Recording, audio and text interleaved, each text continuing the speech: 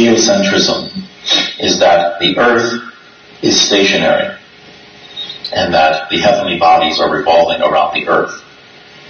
Now, nowadays, if you even suggest something like that, you'll be crucified, basically. Um, not only that, um, there's a growing movement nowadays, and this is not just amongst Christians, this is in the scientific community, uh, that the earth is actually a plane. It's a flat plane. It's not globular. And it's stationary. It's a very popular movement now. But all the astronauts who have gone up uh, up to space station and all that, they say it's, it's round. I mean, yeah, that's what that's what they said. We haven't seen a picture. I mean, they have these um, images of astronauts working on a space station with the Earth in the background. But you look at the Earth, there's no satellites, which is supposed to be 20,000 satellites. You don't see a single one. You don't see any planes anywhere. And every so often, one of their videos, you'll see like bubbles come up, which means they're in a pool in front of a green screen. And you can find these videos.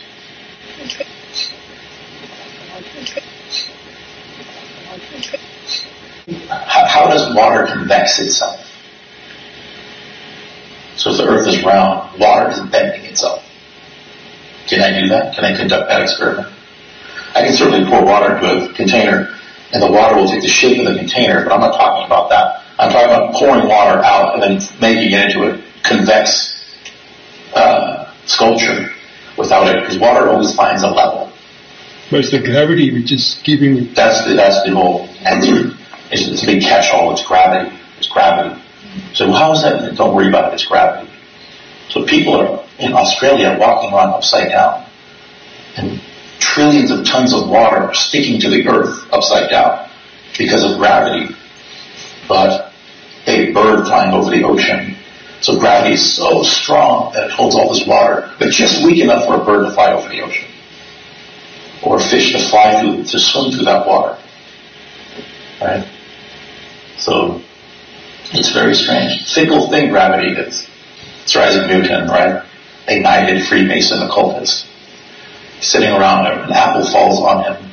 Oh, there's gravity. What an epiphany. No, it's, it's mutual, it's, it's, it's called relative density. Initially, this sounds like a totally ridiculous notion, right? But those who uh, make this argument again are saying that there's scientific backing for it, and that the vast majority of the opinions of human beings throughout history is that the Earth is geocentric. You believe in gravity. I believe in God. Mm-hmm. also, nothing about the moon is you never see the dark side of the moon. You never see the back side of the moon. So if it's orbiting, why don't we ever see the back side? All it does is go like this. It just rotates like that. It never turns around. There's no backside. It's a light. It's translucent. Mm-hmm. You can't land on something like that. But then you don't believe they landed on the moon. yeah, I mean, um, how do you get through the Van Allen radiation belts? Even right now, if you talk to modern scientists, they say, "What's the biggest challenge with space travel?" So we haven't, we can't even get a low Earth orbit. We're in, you know 200 miles from the Earth, and then there's massive radiation belts. We have to figure that out. This is 50 years after six moon landings. they, they, they can't go 200 miles off the Earth, but 50 years ago they went 500,000 miles round trip, six times. You know, 19 billion dollars they fleeced from the American public. 550 astronauts have been in space. 94% or something. Freemasons. It's a secret society. It's a fact. Buzz Aldrin, Neil Armstrong, Michael Collins, the first men on the moon. 33 degree Masons. This is a fact. And a secret society keeps secrets. NASA just said, we found seven new planets. They're just like Earth. Sure they did. I don't think so.